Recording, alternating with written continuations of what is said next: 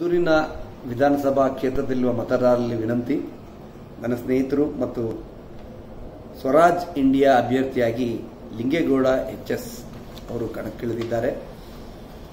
ದಯಮಾಡಿ ನಿಮ್ಮ ಅಮೂಲ್ಯವಾದ ಮತವನ್ನು ಆಟೋ ರಿಕ್ಷಾ ಗುರುತು ನೀಡಿ ಮತ್ತು ಕ್ರಮ ಸಂಖ್ಯೆ ಐದು ನೀಡಿ ಲಿಂಗೇಗೌಡರನ್ನು ಹೆಚ್ಚಿನ ಸಂಖ್ಯೆಯಲ್ಲಿ ಮತಗಳು ಬರೋ ರೀತಿ ಮಾಡಿ ಅವ್ರನ್ನ ಗೆಲ್ಲಿಸಬೇಕು ಅಂತ ಈ ಮೂಲಕ ನಾನು ಕೇಳ್ಕೊತೀನಿ.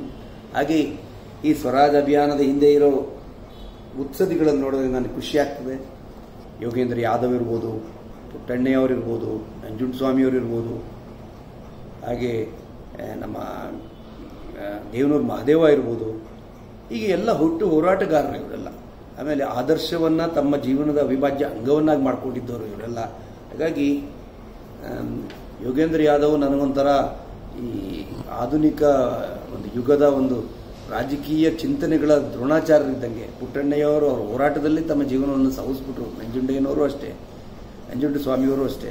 ಹಾಗೆ ದೇವನೂರು ಮಹಾದೇವ ಹೇಳ್ತಾರೆ, ಯಾವುದೇ ಹೊಸ ಚಿಂತನೆಗಳು ಈ ಥರ ಸ್ವರಾಜ್ ಅಭಿಯಾನ, ನಮ್ಮ ಪಕ್ಷದ ಥರ ಪಿರಮಿಡ್ ಪಾರ್ಟಿ ಆಫ್ ಇಂಡಿಯಾ, ಎಲ್ಲ ಒಂದು ಆದರ್ಶ ಮತ್ತು ಎಲ್ಲ ಆಧ್ಯಾತ್ಮಿಕತೆ ಒಳ್ಳೆಯ ಒಂದು ಮೌಲ್ಯಗಳನ್ನ ಇಟ್ಕೊಂಡು ಹೊರಟಿದ್ದೀವಿ ನಾವು.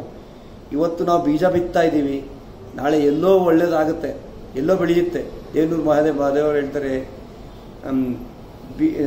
ಭೂಮಿಗೆ ಬಿದ್ದ ಬೀಜ ಮತ್ತು ಎದೆಗೆ ಬಿದ್ದ ಅಕ್ಷರ ಎಂದೋ ಒಂದು ಕಡೆ ಫಲ ಕೊಟ್ಟೆ ಕೊಡುತ್ತೆ ಅಂತ ಈ ಬಾರಿ ಲಿಂಗೇಗೌಡ ಎಚ್ ಎಸ್ ಅವರು ಸ್ಪರ್ಧಿಸಿದ್ದಾರೆ ಮದ್ದೂರು ಕ್ಷೇತ್ರದಿಂದ. ದಯವಿಟ್ಟು ಅವರಿಗೆ ಮತ ನೀಡಿ. ಅವರ ಗುರುತು, ಆಟೋ ರಿಕ್ಷಾ ಮತ್ತು ಸಂಖ್ಯೆ ಐದು. ನಮಸ್ಕಾರ.